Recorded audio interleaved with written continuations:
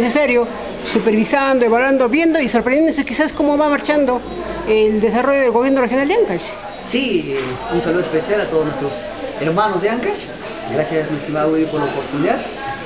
Eh, un poquito sorprendido porque realmente ya casi dos meses de gestión ya debe materializarse y sobre todo eh, tomar el liderazgo en la región, pero vemos que todavía están ahí patinando, pero esperemos que cumplan los 100 primeros días para pronunciarlos con contundencia, con números y con datos como debe ser, ¿no?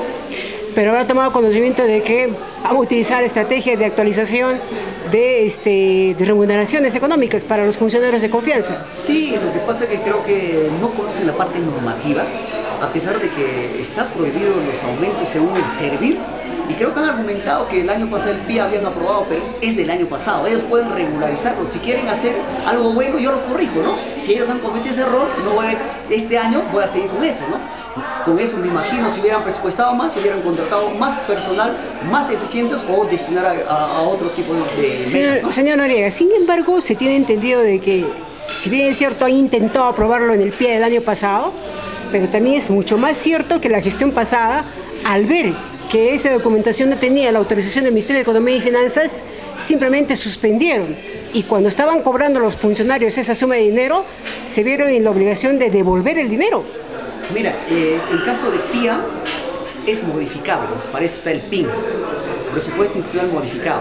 Y sobre todo, pues esto si es remuneraciones también es modificable hasta 30 de, 30 de marzo, ¿no? Entonces no lo han hecho, simplemente pues eh, prácticamente están utilizando pues eh, artimañas para beneficiar a su gente que está trabajando. Pero si fuese también, si tuvieran también la razón, porque dice que como soy ejecutivo pueden tener la razón, pero tampoco no era el momento, pues no era el contexto, no hay productividad por ahora.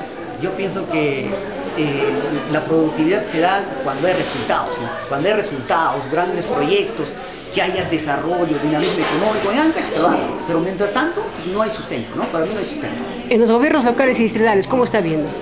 Mira, eh, con mucha preocupación, eh, yo pienso que definitivamente ya van casi 60 días en gestión, eso deben materializarlo, y a pesar de que ya recibieron canon, no lo materialicen, Ancash está paralizado, el desempleo ha crecido en Ancash en los últimos hay un promedio de 40.000 jóvenes que salen en el mercado laboral mayor de 18 en Ancash no tienen un puesto de trabajo. De verdad, eso esperemos que en el transcurso haya un movimiento económico, proyectos de impacto, que nuestras autoridades vayan a hacer gestiones también a los gobiernos, a todos los ministerios.